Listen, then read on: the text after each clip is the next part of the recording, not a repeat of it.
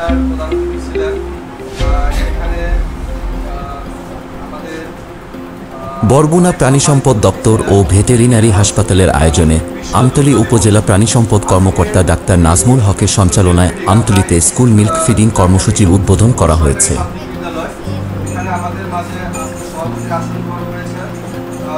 রবিবার সকালে চুনাখালী বোর্ড সরকারি প্রাথমিক বিদ্যালয়ে এ কর্মসূচি উদ্বোধন করেন চুনাখালী বোর্ড সরকারি প্রাথমিক বিদ্যালয়ের প্রধান শিক্ষক মোহাম্মদ আনোয়ারুল কবির।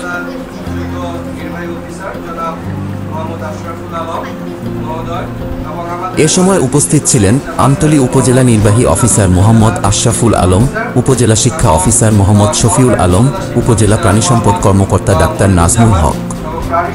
ডাক্তার মোহাম্মদ রকুনুজ্জামান, সহকারী শিক্ষা অফিসার মোহাম্মদ আবুল বাসার চুনাখালী মাধ্যমিক বিদ্যালয়ের প্রধান শিক্ষক মাহবুবুল আলম। সহকারী প্রধান শিক্ষক আব্দুল জলিল। উপজেলা প্রাণী সম্পদ কর্মকর্তা ডাক্তার নাজমুল হকের সার্বিক সহযোগিতায় এ কর্মসূচি পালন করা হয়। ওই কর্মসূচিতে স্কুলের দুইশ পঞ্চাশ জন শিশু শিক্ষার্থীর মাঝে দুধের প্যাকেট ও টি শার্ট বিতরণ করা হয়।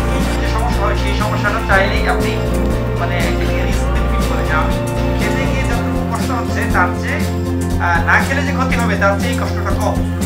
এই জন্য দুধ খাওয়া খুবই জরুরি আমাদের আমাদের এই দেশে দেখা যায় যে অনেকেই গরু পালেন গরু পালার কারণে অনেকেই আহ, দুধ খাওয়া- বরগুনা থেকে মিথুন কর্মকারের পাঠানো তথ্যচিত্রে ডেস্ক রিপোর্ট মিশন নাইনটি। মানে ভালো যেটা বিশুদ্ধ খাঁটি দুধ পাওয়া যায় না। তো এই জন্য অনেক সময় কিন্তু মানুষ খেতে যায় না। কিন্তু আমি মনে করি যে এই গ্রাম থেকে কালেক্ট